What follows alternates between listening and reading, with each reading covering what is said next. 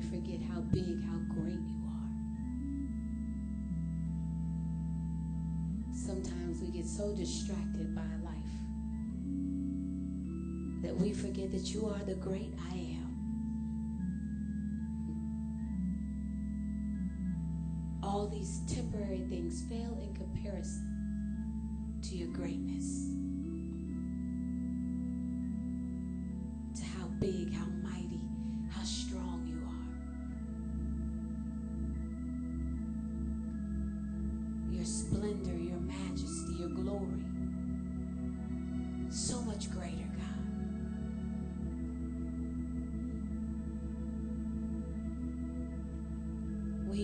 creation, God. We come to worship the Creator.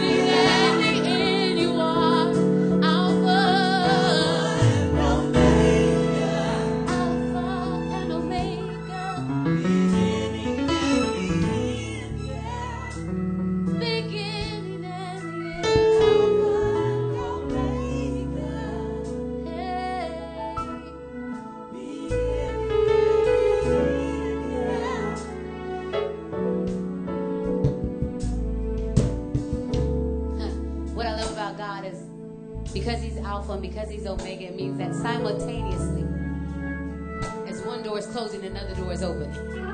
So many times we talk about him being Alpha and then Omega. As if we're waiting for the beginning, we're waiting for the end. But God is simultaneously Alpha and Omega. When one thing ends, one thing opens. That's how great our God is. And so if it feels like something is ending, you should rejoice because that means that something is beginning. He is Alpha and He is Omega. He is the beginning